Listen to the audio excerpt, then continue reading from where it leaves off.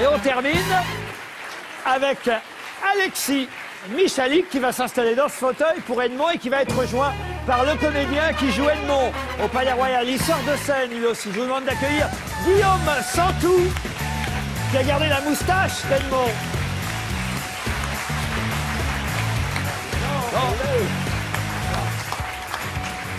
Bonsoir. Bienvenue Guillaume. On avait envie que Guillaume Santou euh, vous rejoigne sur ce plateau parce que les téléspectateurs de France 2 se souviennent aussi de lui pour euh, les sketchs qu'il faisait avec son complice et peut-être qu'il d'ailleurs il en fera encore euh, à l'avenir. Vous nous direz si ce duo va continuer, mais c'était avec Cyril Garnier, Garnier et Santou que vous faisiez euh, duo. Là, vous êtes séparés un temps pour cette pièce euh, Edmond. Pourquoi vous avez pensé à lui pour euh, jouer Edmond Rostand? Il me fallait quelqu'un qui est, en fait, Edmond euh, dans, la pièce est lui-même désuet par rapport à son époque. Euh, ça se passe en 1897 et il écrit en vers il- et il parle un peu comme un poète. Donc il me fallait quelqu'un qui soit capable d'avoir cette élocution dans la vie. Et Guillaume, il a cette élocution dans la vie. Il fait des liaisons et c'est très rare.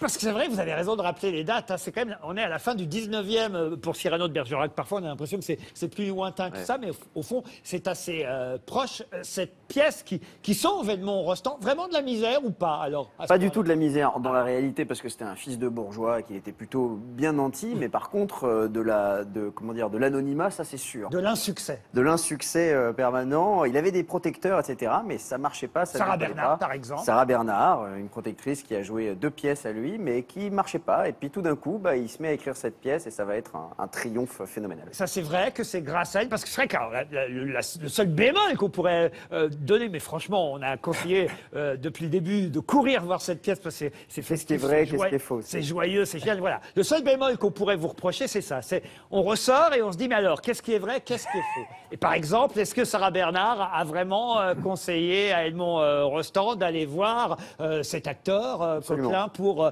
pour voir euh, lui écrire une pièce Absolument, ouais, ouais. Sarah Bernard elle avait un rôle très important. Et même Sarah Bernard, il lui a proposé le rôle de Roxane à la base. Et elle a refusé. Elle a dit non, non, pas pour moi. Elle a déjà fait deux bides. Bon, je le sens pas trop. Et finalement, elle l'a joué par la suite en tournée en Amérique, euh, Roxane, avec, euh, avec Coquelin et avec euh, peut-être bien Lucien Guitry, rôle, je crois. Le nom de l'acteur d'ailleurs qui joue Coquelin, parce Ouais. qu'il est, formidable. Pierre Forest, extraordinaire acteur, qui joue donc Coquelin et qui va donc jouer Cyrano à la fin, qui a une, qui a une voix, lui, pour le coup, on est au 19e siècle. Il est, C'est presque une caricature du théâtre. Et, ah, mais il est extraordinaire, il faut le dire. C'est pour ça que je voulais aussi euh, souligner euh, sa présence dans la pièce. De même d'ailleurs que l'acteur qui joue, euh, alors Christian, et, et pas Christian, mais en tout cas celui qui va jouer Christian Ouais, dans. Cyrano, c'est Kevin Garnichat. voilà, c'est vrai que vous formez un, un duo euh, formidable avec lui et sur lequel évidemment euh, repose aussi en partie la pièce, même si c'est évidemment une pièce de troupe euh, avant tout. Quant aux femmes, il y a Sarah Bernard, c'est vrai qu'elle jouée par Valérie Valérie. Vogt. et il y a Madame euh, Rostand, alors Rosemonde, ça c'est son vrai prénom, Rosemonde. Est-ce que c'est vrai qu'elle a joué Roxane euh, Oui, Rosemonde elle a joué Pas dans votre pièce, mais à la en- en- couturière, euh, son public, mais euh, en fait la- l'actrice qui devait jouer donc Roxane avait vraiment signé pour une seule représentation, c'est vrai, j'en parle aussi. Et, et donc elle avait, en tout cas, elle avait dit qu'elle avait perdu sa voix à la couturière, et c'est la femme de, de, de Rostand qui l'a remplacée. Et je lui donne d'ailleurs un rôle un petit peu dur dans la pièce parce que j'en fais une femme un peu acariâtre, un peu mégère, alors qu'en réalité pas du tout. C'était sa première fan. Elle l'aidait à écrire, et puis c'était sa vraie muse. C'était une femme très belle qui était très courtisée par les, les écrivains de l'époque. Et, euh, et voilà, moi je, lui- je lui donne un rôle un peu ingrat, mais c'est pour les, les- les besoins de la- l'histoire. faut dire que c'est vrai que quand on va voir Cyrano de Bergerac et qu'on a oublié, parce que c'est vrai que parfois on l'a lu euh, à l'école et on l'a Ouais. pas revu depuis, quand on va au théâtre le voir, à chaque fois on s'aperçoit le nombre de tubes. En fait, c'est vrai, il y a des tubes dans le texte. Ouais. C'est à chaque non, fois on se dit incroyable. ah mais oui c'est vrai qu'il y a ce passage, ah oui, oui il y a ce passage aussi, et puis celui-là encore. C'est ça qui est incroyable. C'est très rare dans une pièce. Bien sûr, et moi le plus dur en écrivant, euh, en écrivant Edmond, c'était de devoir couper euh, Eh oui. tout, le, tout le texte de Cyrano parce que j'avais envie de le vôtre un peu quand même. Bah oui, un petit peu, mais vraiment c'était dur parce qu'on commence à, remettre des répliques et puis on se dit mais c'est tellement génial ça aussi, je le mets, et puis à la fin on me dit mais il y a 12 pages de... Ouais c'est vrai, il faut que je coupe. Mais c'est super, non, c'est super. Vanessa Burgraff, Yann Moix. C'était génial. hein. Franchement, c'était euh, un très très beau moment. C'était joyeux, c'était euh, virevoltant. Euh, on passe d'une scène à l'autre, d'une minute à l'autre. On, on change de costume. D'ailleurs, je sais pas, c'est une vraie performance aussi. hein, je pense aussi euh, d'acteur. Moi, je ne change dire. jamais de costume puisque je n'en Oui, fais mais pour les autres, les autres en font plein. c'est vraiment une performance d'acteur. C'est juste. euh, Ah, C'est c'est une grosse organisation C'est- derrière en fait. Celui qui joue le fils Et- de Coquelin, par exemple, joue Ouais. plusieurs rôles. Régis Vallée qui est également mon meilleur ami. Et très drôle. Et je lui ai donné le rôle du plus mauvais acteur du monde. Ah oui, parce que ça c'est vrai, c'était évoqué évoqué tout à l'heure par Vanessa, ça existait peut-être plus à l'époque quand même qu'aujourd'hui, le fait d'imposer ou sa maîtresse. Croyez Ah, Ah, c'est vrai bah Oui, voilà. Aujourd'hui, ça n'existe plus. J'ai quand même l'impression que ça existe. Oh, je crois que ça existe Ah oui beaucoup hein, dans le Ah non, quand même, à l'époque, les théâtres appartenaient à des, à des, à des filles qui... euh, Non, vous croyez pas que- Non, vous, je vous, crois- je crois vous, que vous c'est avez déjà eu des producteurs qui vous ont imposé euh, Moi personnellement oui non parce que je suis le fils de personne, mais ni la maîtresse de personne. mais mais je pense que ça arrive encore aujourd'hui, bien sûr, euh, de dire oh non mais plutôt elle, je la connais, c'est ma fille ou, euh, Ah ou oui, c'est ah, la fille Oui, ou la maîtresse, ou peu importe. Non, mais tout le monde. hein. Il, y a, il y a le nombre de metteurs en scène qui font, qui font jouer leurs femmes, c'est normal. Hein. C'est normal. euh, Enfin, bon, Vous voilà. trouvez ça Non, mais attendez, vous êtes ironique ou pas, là? Non, moi je suis un peu ironique. Enfin, moi je sors pas avec des actrices, c'est un peu pour ça d'ailleurs. Parce que vous avez peur qu'elle vous réclame un rôle? Bien sûr Et après, comment on s'en sort? Ah ouais. Ouais,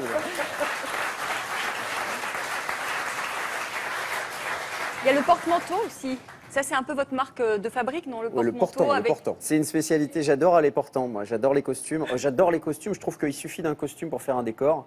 Et euh, je travaille avec la même costumière, Marion Redman, depuis le début. Euh, et là, en l'occurrence, il y en a vraiment beaucoup parce qu'ils se changent énormément. Et donc voilà, on voit le, le portant à vue. c'est- une marque, je, je trouve ça très beau comme objet, moi. Avant de donner la parole à Yann Moix, quelques images d'Edmond qui se joue actuellement au Palais Royal. C'est un triomphe. Nous sommes à Paris, en décembre 1895. Je n'ai rien écrit en deux ans. Comment puis-je trouver un sujet en deux heures? Je sais pas, Edmond, improvise Cyrano de Bergerac. Qui est-ce? Un poète, fin bretteur, avec Avec un grand nez. Un grand nez Il m'a commandé une pièce en trois actes. Mais c'est merveilleux Merveilleux peut-être, sauf que je n'en ai pas écrit une ligne. Edmond, personne ne te connaît. Tu n'as fait que des fours et Coquelin te commande une pièce. Champagne On ne peut pas monter Cyrano en trois semaines. Molière a monté Tartuffe en huit jours. D'ailleurs, vos Mozart descendent et ils vont vite. Les miens montent, madame. Il leur faut plus de temps. Non, non et non Si Maria Legault ne joue pas Roxane, nous retirons nos parts. Coquelin perd son théâtre, vous perdez votre pièce. Je vous préviens, cher Myrmidon, qu'à la fin de l'envoi, je louche. Quand un verre lui plaît, en revanche, mon cher, il le paye très cher. En revanche, mon cher, il le paye très cher. C'est ce qu'il a dit. Oui, mais c'est mal Dites, Edmond, cet acteur-là, ça n'est pas possible. Pas possible. Oui, je sais, il joue faux. C'est le pire acteur du monde. Eh bien, mes amis, ça sent le succès. Pardon, Coquelin, pardon. De quoi Pardon de vous avoir entraîné dans cette galère. Tout va bien se passer. Vraiment Mais oui, au pire, on se retrouvera en prison. En prison Tout va bien se passer. Répète, Edmond. Edmond. Edmond. Edmond. Edmond. Edmond. Edmond. Edmond. Edmond. Edmond. Yann Moix, qu'avez-vous pensé d'Edmond? J'ai trouvé ça prodigieux, mais vraiment prodigieux. C'est-à-dire que le rythme est tel qu'on ne voit ça habituellement qu'au cinéma. Et on a oublié à quel point, quand le théâtre est bien fait, le plaisir qu'on en ressent en sortant est supérieur à celui euh, qu'on éprouve au cinéma. Parce qu'on a vraiment un truc euh, comme une communion qui s'est bien passée. Et ça, diffuse, ça reste longtemps. Je suis rentré à pied pendant une heure, j'ai marché et j'étais encore dedans. J'aurais aimé que ça- ça dure une heure de plus. Parce que finalement, au théâtre, souvent le temps est multiplié par 10. Là, il était divisé par 4. Et j'ai trouvé que le temps, finalement, l'ennui, c'est quelque chose de psychologique. Il y a un tel rythme. Et alors, dans la pièce originelle de Cyrano de Bergerac, c'était déjà un hommage au théâtre. C'est une sorte de dragon qui a aspiré, ingurgité euh, toutes les pièces qui avaient du succès à l'époque et qui, d'une certaine manière, arrive à les recracher de manière un petit peu personnalisée, inédite. Et là, vous avez réussi à monter d'un cran et ça ingurgite Cyrano. C'est vrai aussi que peut-être que la pièce s'y prête, c'est-à-dire que tout ce qui touche à Cyrano, d'une certaine manière, ça se transforme en or. C'est peut-être la petite facilité que vous pouvez avoir, euh, c'est le seul petit bémol, mais le spectateur en sort vraiment scié, étonné, sidéré, à la fois par votre. Je ne vous connaissais que dans le duo Garnier et Santou euh, humoristique, et vous, j'ai jamais vu un de vos spectacles, mais je suis sorti euh, vraiment enchanté. Il faut d'ailleurs signaler que le spectacle précédent, hein, le Cercle des illusionnistes, est actuellement euh, en tournée. Vous allez même partir à Tahiti, à La Réunion, jusqu'en mai euh, 2017. On peut aller voir sur les routes le Cercle des illusionnistes. Et quant à la première, c'est pas d'ailleurs votre première, mais le porteur euh, d'histoire, qu'on va dire le premier gros succès, euh, il existe, lui, en bande dessinée. Et il se joue toujours à Paris, au théâtre des Béliers parisiens. Au théâtre des alors- Béliers chez Arthur euh, Junio, Junio. exactement. Et ce que j'adore, c'est qu'il y a une idée à la minute. C'est-à-dire qu'on pourrait se contenter de là où on est. Et non, tac, un le- la trouvaille des Corses. Il y a les directeurs du théâtre, enfin, les producteurs de la pièce sont deux Corses qu'on croirait sortis d'il y a 15 jours. Alors ça, par exemple. Ça, c'est extraordinaire. Alors ça, c'est pas vrai. Ça, c'est pas vrai. Mais il y avait des flouris producteurs. Je me suis dit, il faut les rendre intéressants. Je me suis dit, ce serait drôle s'ils avaient un petit côté euh, mafieux. Bon, bah les mafieux de Ça, c'est ce l'époque, les. Vous Corses. pouvez le dire, on était ensemble ce soir-là avec Nicolas Bodos quand on est venu voir la pièce, tous les deux. Euh, Parce qu'on sort en couple, euh, Nicolas. C'est pour ça qu'il peut vous arriver un truc dans la chambre, parce qu'il sera peut-être là, Patricia Cass. Et donc, Nicolas, lui, c'est ce qu'il a préféré, les Corses. Alors, il n'arrêtait pas de rire. hein. Dès que les Corses parlaient, vrai, dès mort de rire. L'histoire, c'est qu'ils ont, c'est qu'ils ont, ils sont pas que producteurs de théâtre. En fait, à la base, ils tiennent une maison de plaisir Oui, oui, qu'ils bien appellent les Belles Poules, et donc ils font de la production un peu comme ça. Donc Mais il y a des personnages récurrents, un peu comme dans la rubrique Abrac de Gottlieb, des petits personnages secondaires qui prennent presque plus d'importance Absolument, que la, la- et ça c'est fabuleux. On a l'impression que ça ne s'arrêtera jamais. Est-ce que à la base c'était véritablement un film que vous n'avez pas réussi à monter? C'est tout à fait vrai. C'était tout à fait un film que j'ai essayé de développer pendant 2-3 ans. On l'a proposé à quelques réalisateurs. Personne n'en a voulu. Au bout d'un moment, me voir Nicolas euh, comme Michael Cohen, Ouais, c'est pour l'invitation. ouais, Absolument, pour jouer Cyrano. Mais euh, et voilà, et puis finalement, je me suis dit, bon, bah, je vais le faire au théâtre. Et puis euh, bah, ça s'est fait très très vite. Quelle et... bonne idée, quelle bonne idée tu Quelle as bonne eue. idée.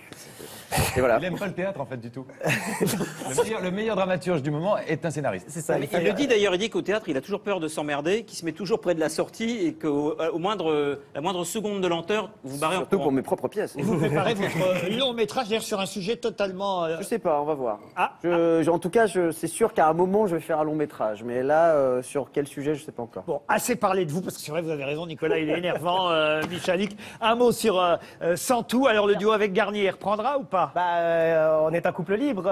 Cyril m'a autorisé à avoir une aventure adultère avec Alexis Michalik pendant un temps apparemment un peu plus long que prévu, mais tout le monde est ravi évidemment. On a des projets de séries, on a des projets d'écriture en cours, de films aussi, on a des choses que des producteurs nous refusent aussi, hein, comme tout le monde finalement. Et on a aussi des projets individuels. Enfin voilà, on, s'arrêtera pas là, mais on ne sait pas exactement où on sera. Pense que j'aurai 45 ans à la fin d'Edmond, donc. euh, Pour ceux qui regardaient On ne demande qu'à en rire et qui aimaient Garnier et Santou, un de vos meilleurs sketchs, ça a été Tintin. Ah, vous êtes sûr Merci, vous auriez pu choisir pire. Je suis content que ce soit ça. Ah non, non, j'ai choisi un, un de mes meilleurs souvenirs. Tintin en 3D, regardez. Donc euh, moi, évidemment, je n'ai aucun objet euh, autour de moi, euh, alors que lui, Tintin, a des objets avec lesquels il peut entrer en interaction. Euh, regardez. Bonjour, Castafiore. Vous arrivez pile pour le thé.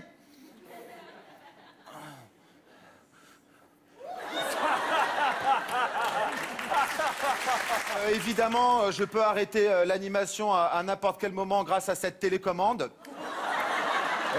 Donc, comme vous voyez, un petit boîtier tout simple sur lequel on appuie. C'est un petit interrupteur euh, on-off, euh, somme toute euh, assez basique. hein. Ça marche comme à la maison. Voilà, et puis je. l'enfile sur ma main, voilà, grâce à juste un petit élastique, c'est très simple. Je l'enfile en le mettant comme ça. Ah merde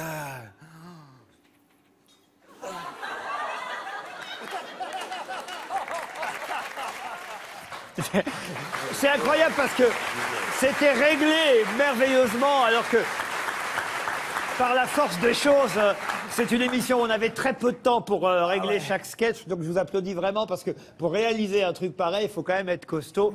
Donc vous méritez votre succès dans la pièce d'Alexis euh, Michalik Merci avec beaucoup. Edmond au Palais Royal. Merci à tous les deux. Vous pouvez rejoindre vos places.